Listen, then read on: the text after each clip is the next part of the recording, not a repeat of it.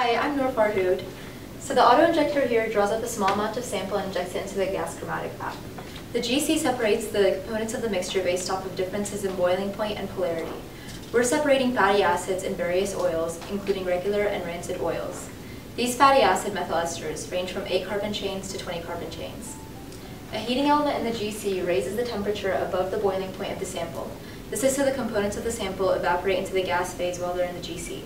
So the components of the sample, along with a carrier gas, which is hydrogen, move through the polarized column of the GC and reach a detector.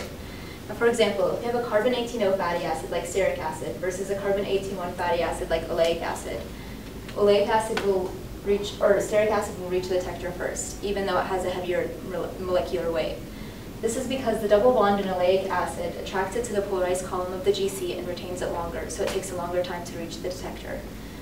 Now if you look here at rancid grapeseed oil, you'll see that stearic acid came out before oleic acid. Hi, I'm Hassan Rafi. So to create our samples, we conducted a base catalyzed transesterification reaction, and uh, that is shown in the figure uh, over there. And uh, on the left, you can see uh, there are original esters, and then it's combined with a methoxide solution, which then proceeds to form an anionic intermediate. And this reaction can shift in either direction, but in an excess of alcohol, it will shift towards the right. So we made sure there was an excess of alcohol, so it would shift in that direction. And when it does that, it forms a methyl ester and a waste uh, methoxide solution. And uh, the methyl esters are what we want to inject into the GC.